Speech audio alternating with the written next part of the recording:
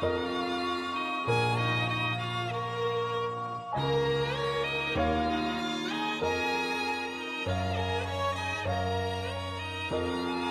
everybody, this is Kim, the Goblin Girl. Today I want to present the new 420, this one here. It's quite similar as the 380, only it's a bit longer, so the blades are longer, which are also now Thunderbolt blades. Also the boom of the tail is longer.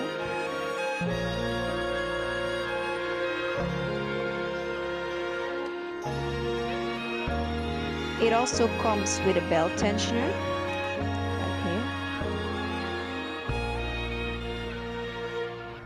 Another difference is the landing gear. This is a Kyle Stacey edition.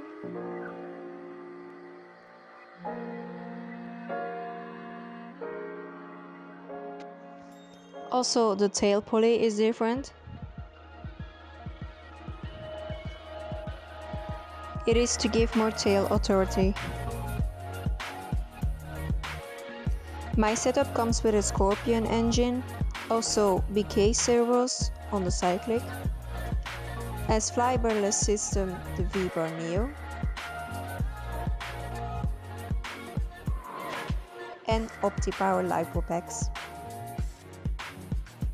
So that's in short the difference between the 420 and the 380. Let's go and fly it!